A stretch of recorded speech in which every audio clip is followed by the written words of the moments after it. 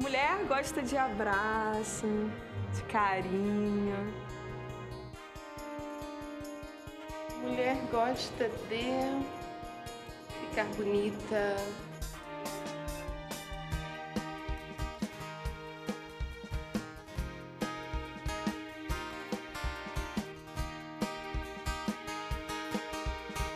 A gente quer ser feliz.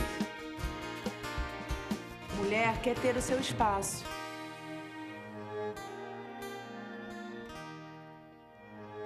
Mulher, seja bem-vinda a mais um Espaço Feminino. E hoje o nosso programa está super especial e eu começo desejando um feliz Dia das Crianças para crianças de 0 a 200 anos aí, nessa eu me incluo. Vocês são especiais demais e Deus ama vocês tanto, tanto, crianças que estão assistindo de 0 a 200 anos. Mais uma vez, vocês são a razão de nós estarmos aqui transmitindo Jesus há 24 anos. Hoje o nosso programa está super especial e temático para você que é pai, mãe, filho, vó, tio, todo mundo, todas as crianças aí que nos assistem. É, que bom saber que nesse Dia das Crianças você ligou sua TV e colocou na Rede Boas Novas o único lugar que você pode assistir televisão tranquila, porque com certeza o conteúdo vai ser adequado para todas as idades. Nosso programa de hoje vai falar sobre aprender brincando. Nada melhor do que aprender brincando e nada melhor do que tratar sobre isso hoje, que é Dia das Crianças. E para conversar aqui comigo, eu tenho a Bárbara Fernandes, que é pedagoga. Seja muito bem-vinda. Obrigada. Mais uma vez. Exatamente, retornando. Feliz Dia das Crianças para você. Obrigada. Também o, o, desculpa, o Alan Felipe de Freitas, que é psicólogo. Seja muito bem-vindo. Obrigado, um prazer enorme estar no seu programa. Feliz Dia das Crianças para você também. Você, nós, todos nós somos crianças, Todos tá, nós. gente? Eu não estou dizendo isso para ofender ninguém. Eu, eu me considero e, e, e, e Deus honra né, as crianças e diz que das crianças é o Eu reino acho que do isso é céu. até um elogio, né, É. Tereza? Pode me chamar que eu não, Ó, não importo, não. Das crianças é o reino do céu. Quem tiver um coração como de criança é, é o, é o objetivo, eu acho, maior da nossa vida, né? Se manter como criança, claro, não nas atitudes, mas no coração, na pureza. E, e hoje é o Dia das Crianças, então Feliz Dia das Crianças para todas nós. Na música, olha que linda, gente, essa gente. roupa. Jéssica Kid, seja muito Ah, bem-vinda. obrigada. E com esse Ministério Prazer Infantil, eu acho que você também é mais uma convidada para o nosso bate-papo, hein? Isso aí, vamos lá.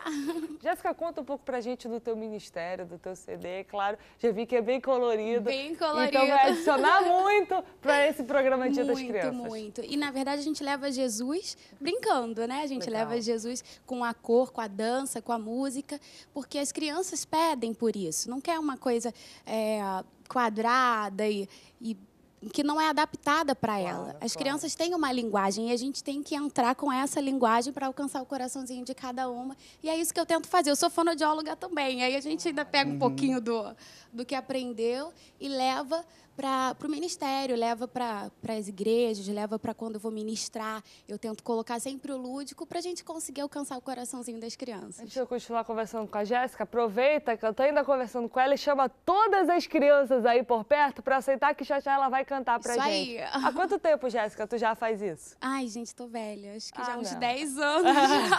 Ah, 10 anos e da criança.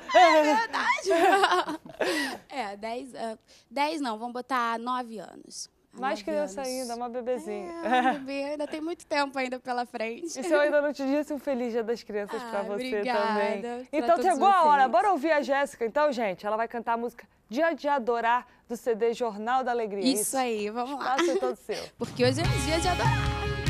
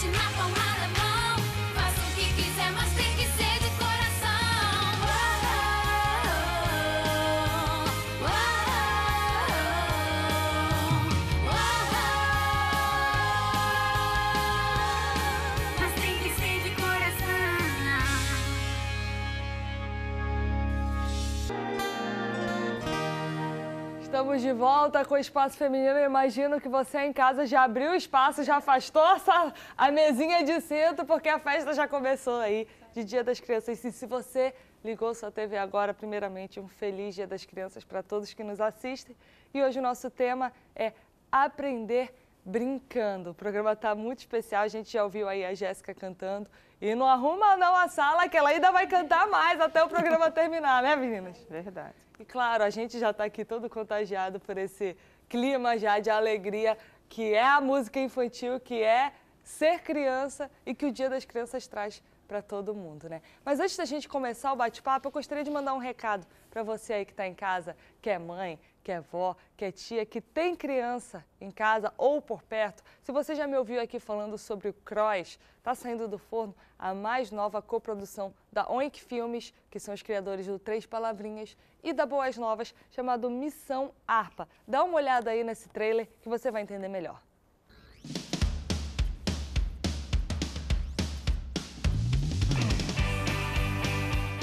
Encontramos!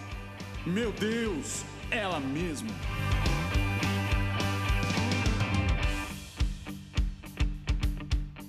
E o encontro dela nos deu a certeza do que estávamos buscando. Uma prova da nossa fé.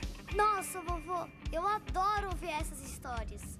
Só me faz querer começar logo nossa missão e completar esse quebra-cabeça inteiro. Ei, Theo, você tá preparado mesmo?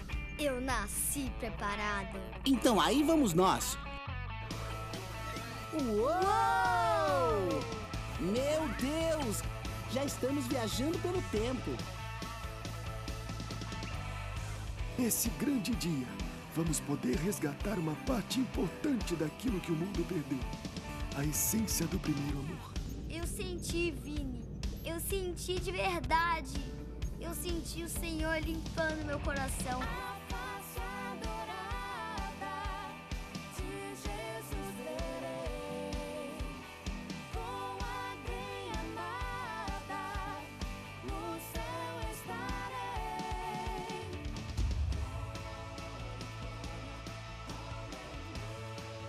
Assim como nós agora, nesse tempo difícil, temos a mesma missão que os primeiros cristãos tinham: entregar apenas o que nos foi dado. O amor de Deus, as boas novas do Evangelho e manter acesa a chama para as próximas gerações. Podemos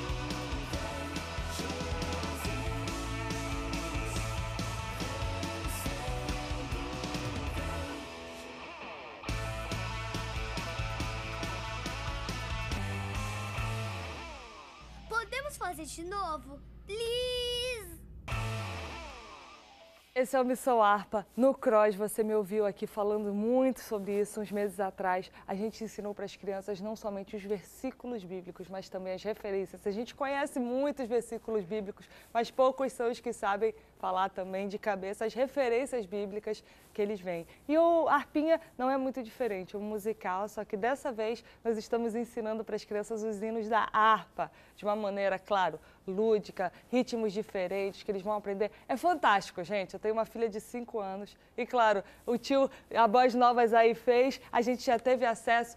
Eu, outro dia, chorei no banho com a minha filha, eu preciso falar isso. Eu estava dando banho nela, sem fazer nada, conversando, dando banho. Daqui a pouco a minha filha começou.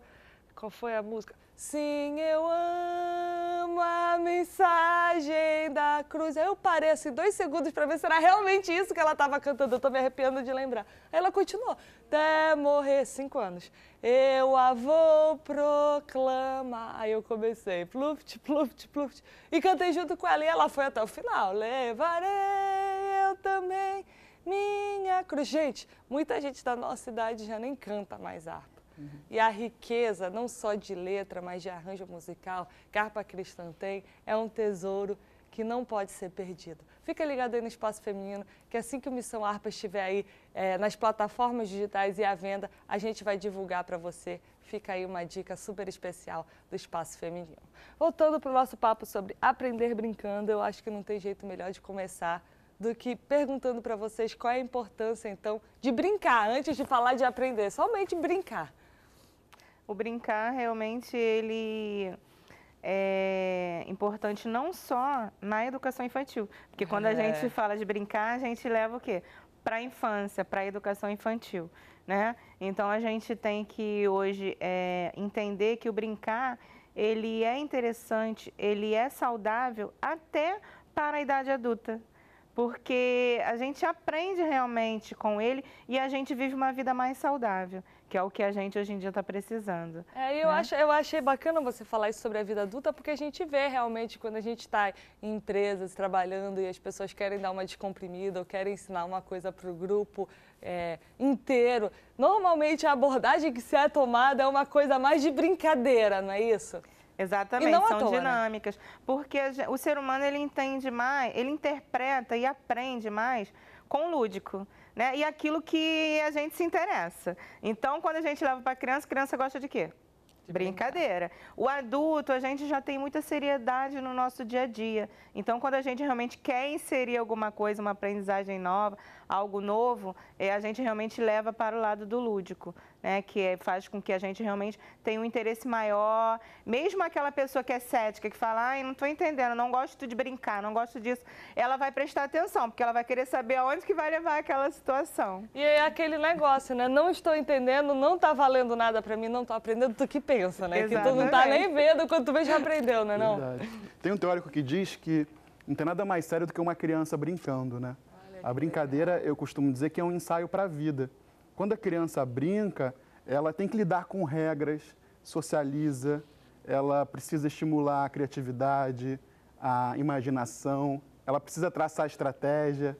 Então, assim, a brincadeira é muito importante para a formação da criança, do próprio adulto, né? Que faz com que esse desenvolvimento ele seja mais, mais rápido, mais aguçado. Justamente porque a brincadeira envolve isso tudo, envolve o perder, o ganhar, a frustração. É verdade. Eu acho assim que, que essa estratégia de aprender brincando se torna muito mais efetiva até para a criança, né? Porque quando tu pega uma criança e põe num ambiente diferente, tu quer dar aula que nem tu dá para adulto, não rola, né? Não, Não não, funciona. não- não funciona, estressa, e quando estressa, bloqueia, e, e vocês podem falar mais do que mãe só aqui dizendo, né? Exatamente. E até o que ele falou, é, a criança, ela aprende a dividir. É muito interessante quando a gente pega uma criança que vem, é, filha única, né, é, de uma família e vai estudar. E ali ela aprende que ela tem que dividir. E às vezes não é fácil, porque ela está acostumada a ser o Em centro casa da é tudo atenção. dela, né? Exatamente. Né? A boneca é minha, o espaço é meu. E quando você vai realmente para a escola para aprender, aquela pessoa que está ali, ela precisa realmente usar estratégias para fazer com que aquela criança aprenda e que ela comece a dividir realmente e faça parte né, da sociedade, se realmente sociabilizando, dividindo, é, interagindo, porque realmente quando a criança ela chega é, para trabalhar na comunidade, seja ela na escola, na igreja mesmo, né, que tem outras crianças também, é realmente mais complicado. Mas quando a gente coloca o lúdico e a gente faz com que a criança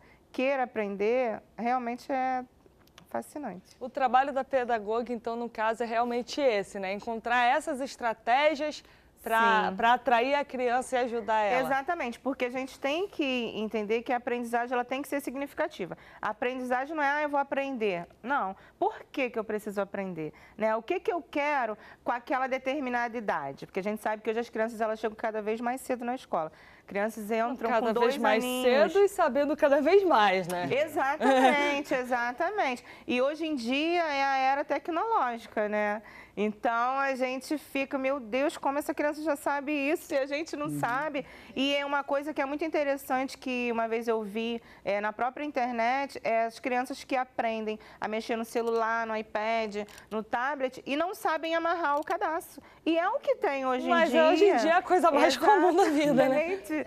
né? Então, assim, a gente precisa realmente inserir no dia a dia dessas crianças essas outras aprendizagens. Outro dia eu fiquei horrorizada, minha garotinha ainda pequena, né, com uns dois anos, eu, filha, bora pra praia, você gosta da praia? Gosto, gosto muito da praia, só não gosto da areia. Eu falei, o quê?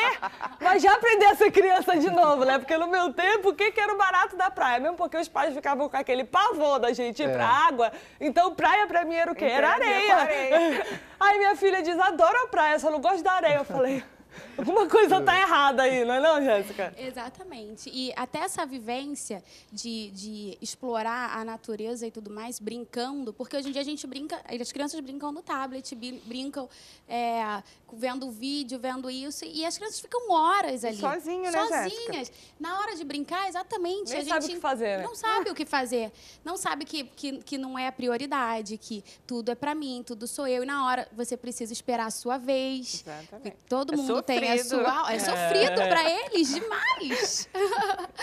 Sofrido perder, porque dentro de casa eles estão. Tudo é para eles, a família toda né, gira em, em torno dele. E realmente esse brincar é para vida. A gente vê até adultos que têm essa dificuldade de interagir, de, de deixar. De, é, se abster, deixar para outra pessoa saber que aquele espaço é dele, esse espaço é meu, isso cabe a mim, isso cabe a ele, eu vou perder aqui, vou ganhar ali. E isso é muito importante. É um ensaio para a vida mesmo, igual o Alan falou. Acho que traduz tudo. Brincar é um ensaio para a vida. Eu, eu É, acredito assim. E eu acho isso importante porque é, Alan vai poder falar melhor do que eu. A partir da hora que uma criança é criada no não, no, no- no você não pode, tolhida, nada pode, não chega perto de ninguém, é diferente de uma criança que é criada também com não, mas um não na brincadeira. Um não, olha, não é sua vez, deixa eu brincar. Ou não, você não ganhou, você ganhou. Tem uma diferença aí do ponto de vista psicológico, não Sem tem? dúvida. O não é extremamente importante para a formação, para você compreender limites. Né? Quando a criança não ouve não, ela é completamente sem limites, ela acha que pode tudo. E na né? vida adulta Na também. vida né? adulta sofre muito, porque qualquer não, qualquer dificuldade, a frustração é tão grande que não sabe lidar. Mas, Alan, estava até vendo um, um programa ontem que eles estavam falando sobre a- o, o que a Tereza falou, assim, um excesso de não. Que tem, tem um, um formato de criança hoje em dia. Se ela fala muito, ai, tinha que falar menos. Se ela É. fala pouco, tem que falar mais. E as crianças estão até tomando remédio para controlar esse comportamento. Essa, na verdade, até essa energia, né? Essa energia, exato, que a gente às vezes quer tolir pela nossa vida corrida, a gente quer dar um tablet na mão dela, a gente quer, quer distrair a Tablet criança. não gasta energia, É, tudo, gente. Não gasta. tudo é o equilíbrio, né? É, não é também para demonizar os aparelhos tecnológicos. Sim, claro que não. Eles têm uma função, mas o excesso é muito prejudicial. Porque justamente impede o desenvolvimento de uma série de outras competências e habilidades. Amarrar o sapato. Amarrar o sapato. Ela sabe entrar no YouTube, mas não sabe amarrar o sapato. Não, o contato visual. Quer ter um canal do YouTube, mas não sabe amarrar o sapato, né? no tutorial do YouTube. pra Tipo a amarrar sapato. E uma série de outras habilidades não são desenvolvidas por conta do isolamento e da, da única interação com o aparelho, o tablet, o smartphone ou o computador. E aí gera aquela preocupação, será que meu filho tem algum problema porque ele não desenvolveu? Ah, a criança do vizinho falou com dois, dois anos, a minha filha até agora não fala, dois é até tarde, né? Mas enfim, e a gente acha que, que a criança tem problema, e na verdade não é bem isso, né? É a falta do estímulo, né? Exatamente. E sempre tem essa comparação. Sempre, né? É, na escola ou na clínica, as mães vêm, ah, porque meu filho não, não fala, ah, porque a prima, ah, porque o primo. Então, sempre tem. Só que cada criança realmente tem um tempo, né? Então, a gente não tem como é, avaliar se está certo ou se está errado. Até porque, como você falou, a gente tem que estimular. E hoje em dia é mais fácil você dar um tablet, né? Achando você que dá, ah, ele vai estimula, ficar né? ali na- no sofá, sentado, ele vai ficar quietinho. Ah, não tem que descer para o play ou não tem que sentar no portão para ele brincar na rua. Porque realmente dá trabalho você educar, né? E você fazer com que a criança, ela cresça saudável. Porque existe, é, o, o Alan deve entender isso melhor, é, hoje em dia a gente pega adultos, como a Jéssica falou, é, que não conseguem lidar com as questões profissionais do dia a dia. Né? Não, eu ia falar Porque exatamente sobre isso. eles... Eu é, li uma entrevista uma vez numa revista dessas periódicas famosas aí, falando sobre isso, uma geração que está acostumada a ter os pais tomarem, é, os pais tomarem todas as decisões por ela, e aí quando chega na hora de tomar a decisão, Porque hoje em dia até a gente sonha muitas coisas para os nossos filhos, né? A gente olha para a criança, "Ah, eu quero que meu filho seja um médico, aqui eu quero que seja advogado, eu quero que isso. E, e quase que força a criança a uma vida e, e depois eles não sabem lidar com nada, né? Inclusive acontece um conflito geracional nas empresas, né? A geração que está entrando com a geração que está saindo. É. A, a diferença no pensamento, no modo de lidar, né? A geração mais, mais antiga, ela preserva a continuidade no trabalho. O, o rapaz está entrando no mercado de trabalho hoje, qualquer frustração, ele sai, muda de emprego, ele não pensa duas vezes. Né? Não tolera uma, uma repreensão, às vezes um, um- um conselho, acha que já sabe de tudo. Então, isso acaba, acaba causando muitos conflitos na, na hora de ir para o mercado de trabalho. Né? E eu acho que até nos relacionamentos também, a gente está vendo um número de divórcio aí é, enorme, porque vai para dentro da casa, de uma casa que é uma pessoa diferente, ela não sabe. Não consegue dividir, é Não muito consegue, individualista. né? exato, não Tem que consegue. compartilhar, né?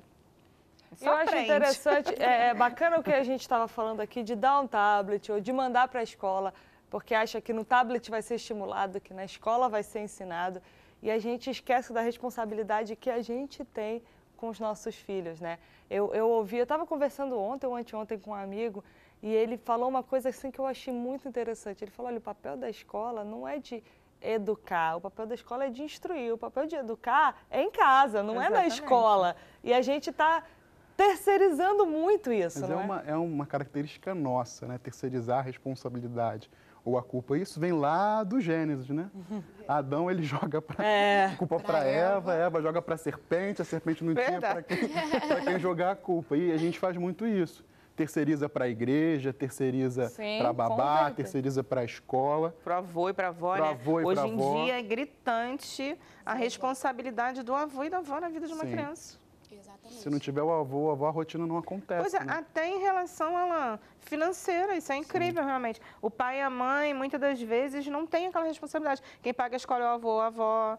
Quem paga a natação é o avô, a avó. Quem faz não sei o que é o avô, a avó. Então você vê realmente que essa geração, ela precisa amadurecer. Precisa amadurecer, acho que essa é a palavra, né? A gente precisa amadurecer em Sim. todos os sentidos. E isso está sendo refletido nas crianças. Eu não sei como é que vão ser essas crianças de hoje em dia daqui, é daqui a interessante porque não amadurece pela falta do brincar, né? Justamente do que a gente estava falando, né? Verdade. É, é aquel- aquela interação individual com o aparelho. E a Perfeito. gente perde aquelas brincadeiras clássicas que é, são muito legais, né? Peão, pipa, amarelinho. Joelho ralado. Gente, na minha época eu tinha muitos jogos de tabuleiro. Delícia. E aí eu tenho um priminho que até mora perto da minha casa e ele não tem um, um jogo de tabuleiro. Eu falei, eu vou comprar um jogo de tabuleiro porque tem 500 mil tablets, não consegue ficar sem o celular. É porque hoje em dia até eu, eu acho assim também que a indústria ajuda muito nesse negócio. Porque hoje em dia tu compra um jogo de tabuleiro pro teu filho querendo é, resgatar isso, só que o jogo de tabuleiro tem um aplicativo que Aham. funciona junto com o jogo e a criança não tá mais nem aí pro jogo, só quer saber do, do, do aplicativo. Verdade. Eles estão, tipo assim, prendendo a gente, não é verdade? Verdade. Isso acontece muito, E muito. que tipo de doenças isso pode gerar? Eu acho que a gente está vendo aí casos, é, números alarmantes de doenças causadas por, essa, por tudo isso que a gente está conversando, né? Não? Sim, essa dificuldade na socialização, né? às vezes um, um transtorno de ansiedade por não saber lidar com a figura do Saber o outro. que fazer, né? Então o outro ele é, ele é tão hostil porque eu não estou acostumado que isso me ge- gera uma ansiedade muito grande, eu não sei lidar. né? Então você pensa, a pessoa precisa trabalhar em equipe. A Prefiro dificuldade trabalhar saber, sozinha, é. né? Eu acho que, é, é, agora eu lembrei, a questão de antigamente as, as crianças iam pra rua, passavam um dia na rua brincando, soltando pipa, jogando eu, bola. Eu, eu ainda fui dessa geração. Eu também peguei esse tempo, só que hoje a gente fica até com medo. Se não mora dentro de um condomínio, e mesmo dentro de um condomínio você fica com medo, você tem que descer junto com seu filho, porque você Ah, não sabe é. quem, quem são seus vizinhos. E antigamente tinha muito essa, essa coisa de ir pra rua, passar o dia em na rua, volta só para almoçar e já volta pra rua. Acho que a violência também tá, tá pesando hoje na, na criação. A violência tá E tem um outro dado alarmante que é a obesidade infantil. Há décadas atrás a gente Não não, existia, né? imaginava isso. E hoje isso é uma realidade no Brasil, justamente por isso, as crianças sedentárias. Não, obesidade, depressão, Depressão. infantil. Isso pra gente Infantil. era uma doença Sim. distante. Todas, né? Pra gente mais velha e tal. E hoje não, não tem mais idade, né? Exatamente. E também vale ressaltar que os pais ou a pessoa que realmente cuida né, dessa criança, desse jovem, eh, deve eh, criar um mecanismo de senha, alguma coisa, para fazer com que essa criança não tenha acesso a determinados conteúdos na internet, porque Perfeito. às vezes a gente não tem esse acompanhamento e a gente vê, porque criança e jovem, ele quer Descobrir. aprender, ele quer entender o que funciona algumas coisas que não é falado em casa, né? Então, para isso, realmente, é, a gente sempre orienta a família que converse mais com os filhos, né? É, o Alan falou da ansiedade. Quando a gente fica muito, é, vê a criança muito com aparelho, ela cria uma ansiedade, assim, fora do normal, realmente. É, e quando a gente fala do brincar, o brincar de queimado, o brincar de bola. Antigamente a gente tinha aquela aperta é óbvio, né? A gente não vai aqui falar pra aperta, Aperta a campanha e sai correndo. então, assim, é, rouba a manga lá do, do, do- ou, ou a goiaba do vizinho. Mas eles tinham aquela, aquele companheirismo. Eles aprendiam isso, né? Hoje não tem. É Por isso que esse competição. indivíduo Exatamente. Essa parte, assim, individualista, né? Que não tem aquela coisa, ah, eu vou ficar aqui com meu amigo, não vou falar nada.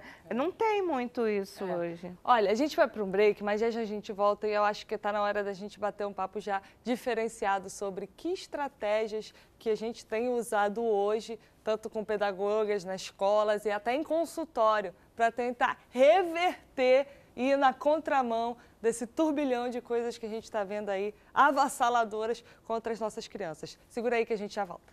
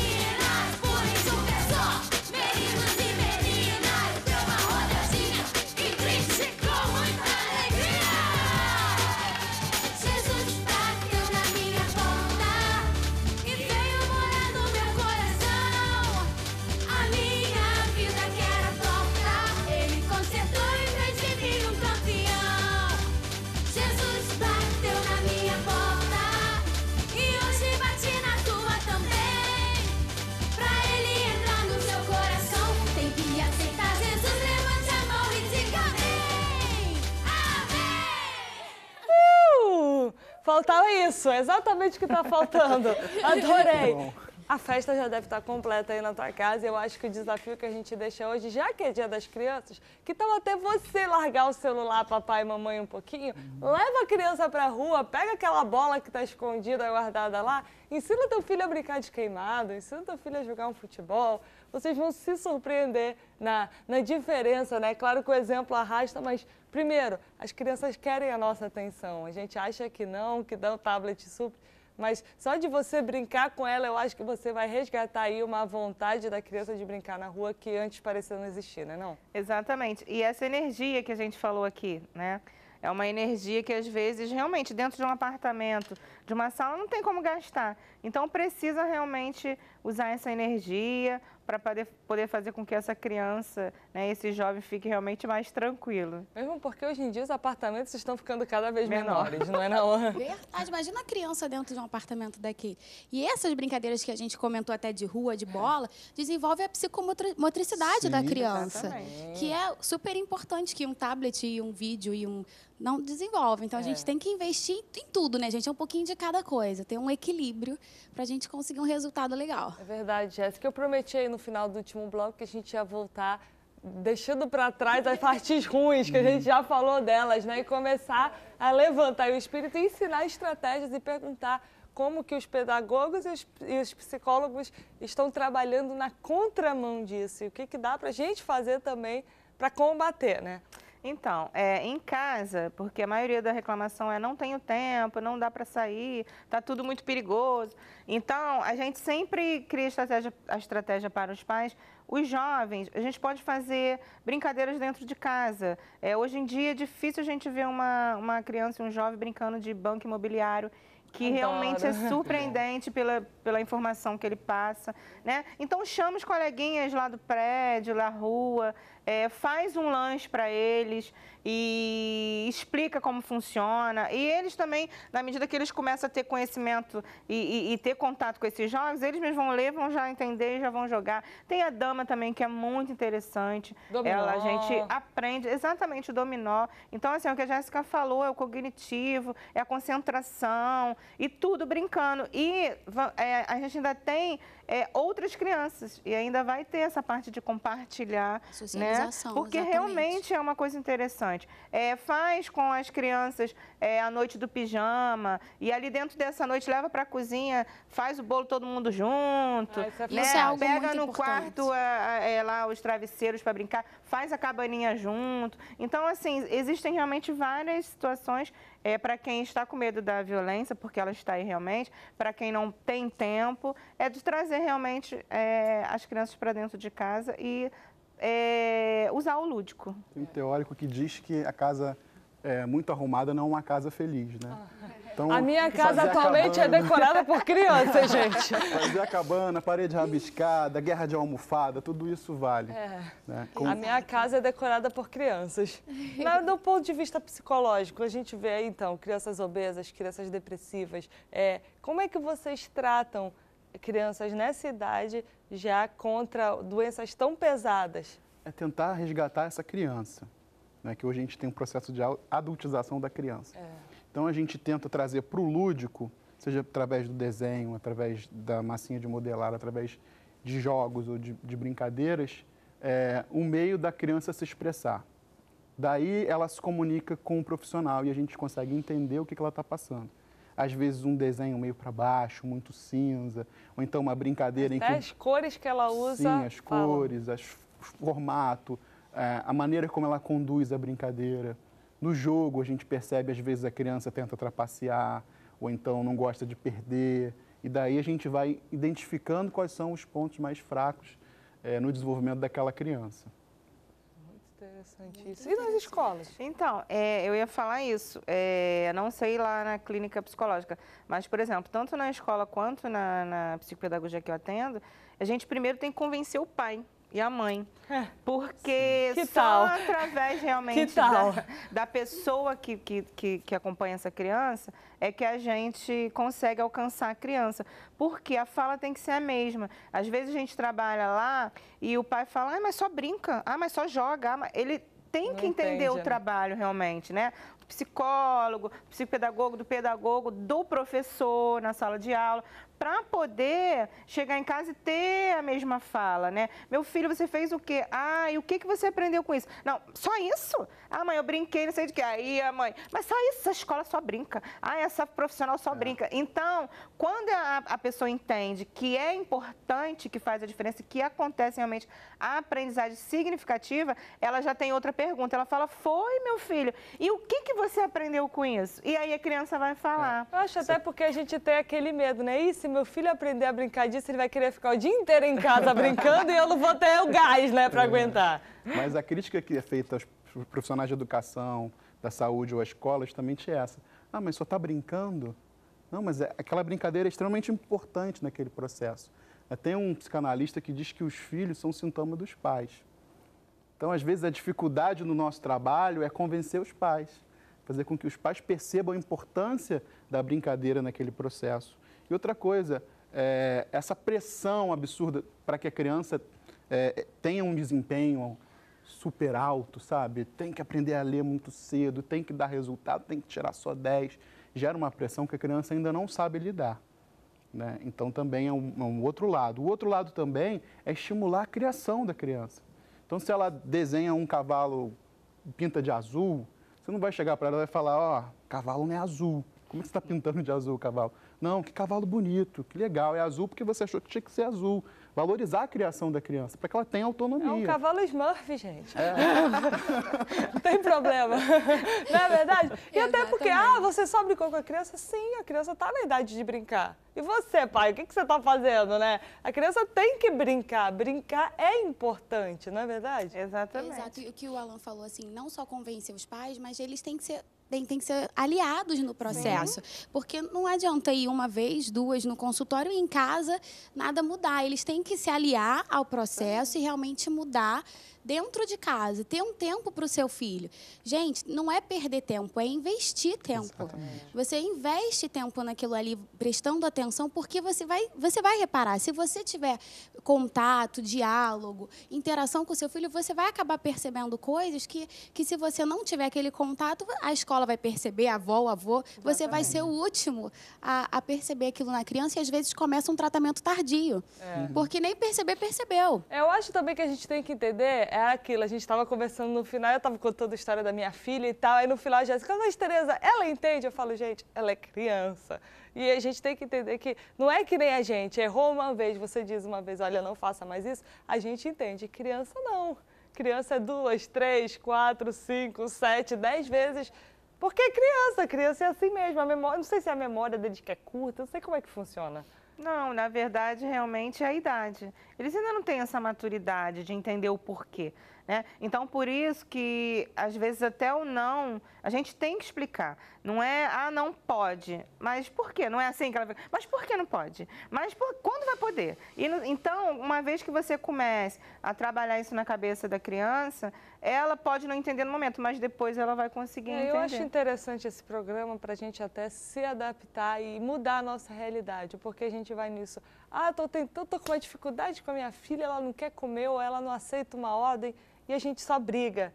E que tal a gente mudar a estratégia e tentar ensinar brincando para os nossos filhos? Que poder que isso pode ter numa criança? É verdade. O ser humano ele é um ser cognoscente. O que, que é isso? É um ser que aprende, é aquele que conhece. Então, se tem alguma habilidade inata em nós, na nossa espécie, é a capacidade de aprender.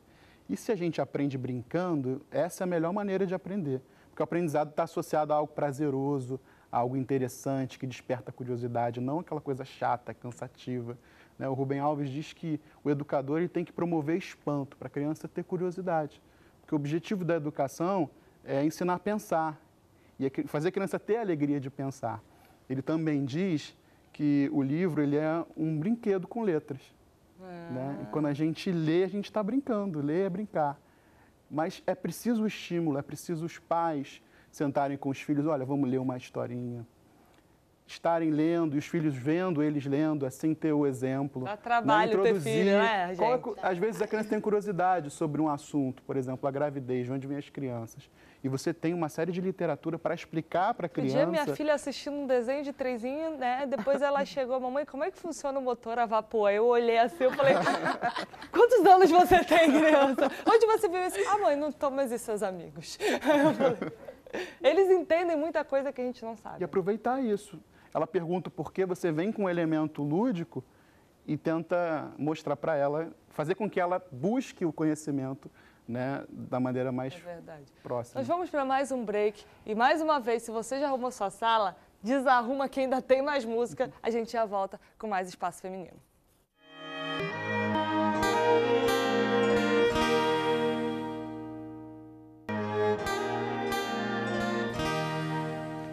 Voltamos com o Espaço Feminino hoje falando sobre é, aprender, a importância de aprender brincando. Aprender brincando.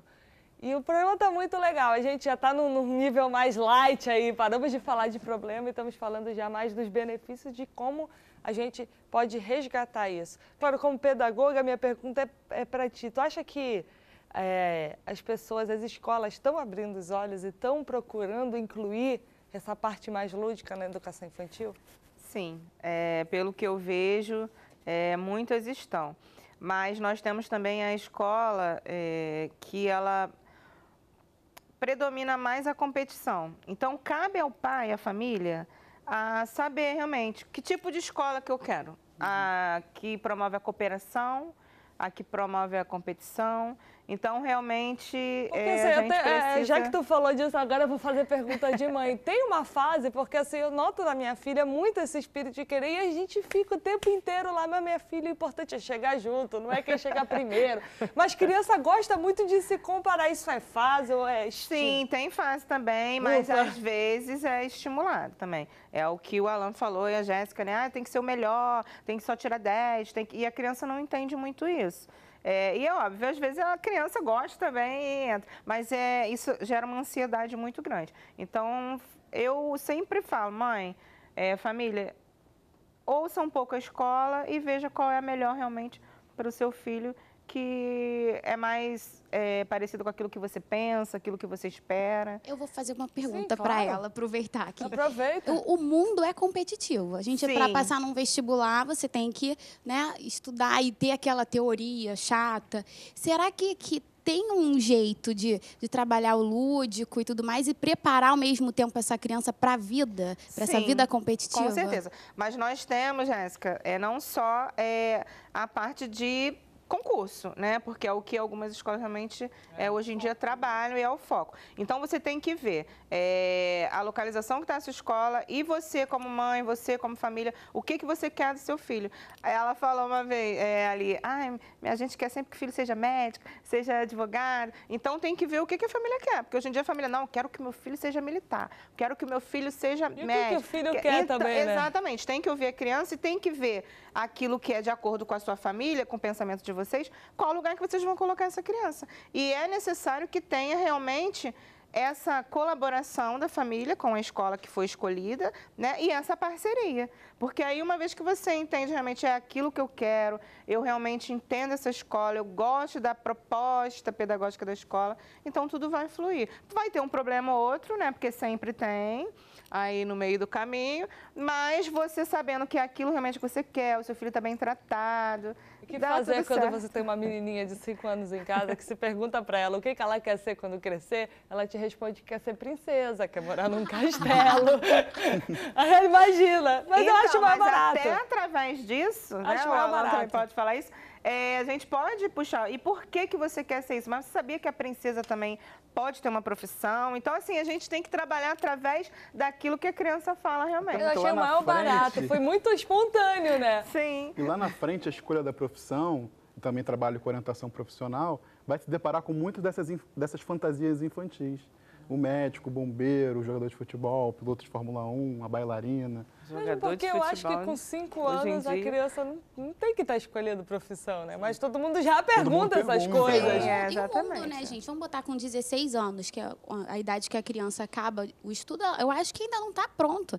Não tem noção da vida e, o- e o mundo já cobra. Você tem que escolher, você Mas tem que aí fazer. é uma orientação realmente da família, é aquela coisa de você não, não fazer com que a criança fique mais ansiosa.